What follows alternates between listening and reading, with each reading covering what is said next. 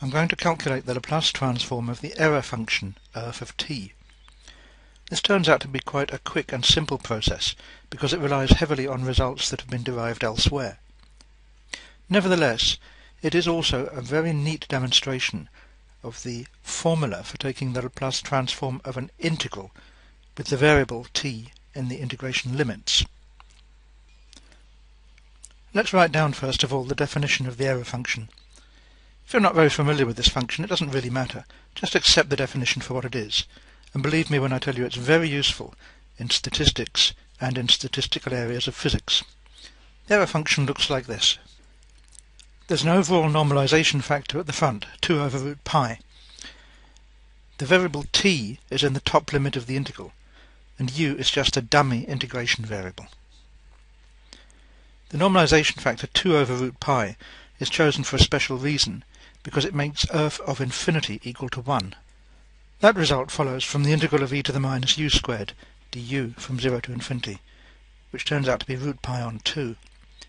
I've proved that in a maths cast elsewhere. I've also discussed the error function in other maths casts.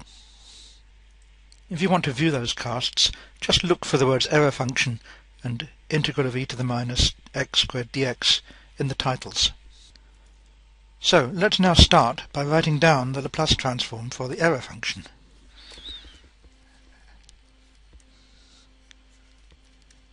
It has to be the same as the Laplace transform of, we could take the normalization factor 2 over root pi out the way, out front. Then we just have the Laplace transform of the integral from 0 to t e to the minus u squared du. Now, this is where the formula for Laplace transform of an integral comes in. Let's suppose that f of t is a function whose Laplace transform is capital F of s.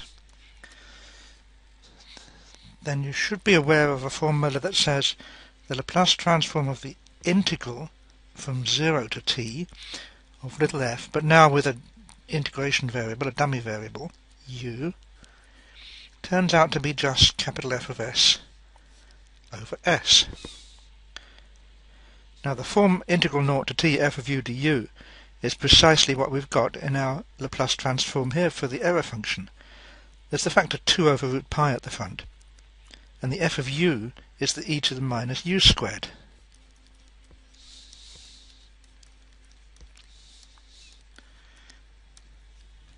So we now need to take that little f and write it as a function of t and then find out the capital F of s that's associated with it. But that's the Laplace transform of e to the negative t squared. I've discussed that in a math maths cast called the Laplace transform of e to the minus t squared. It turns out to be root pi over 2 e to the s squared over 4 times the complementary function, error function, of s over 2. The complementary error function, if you haven't met it, is just 1 minus the error function. So that's our capital F of s. So all we've got to do now for the Laplace transform of the integral is to divide by s and also remember the factor at the front, 2 over root pi. So here we go. L of erf of t is 2 over root pi.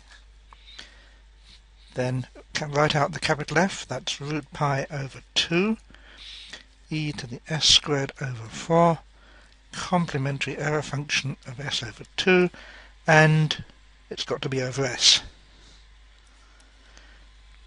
The 2's cancel and the root pi's cancel, which is neat. So we end up with a fairly simple Laplace transform e to the s squared over 4 complementary error function of s over 2 or over s. I'll conclude that.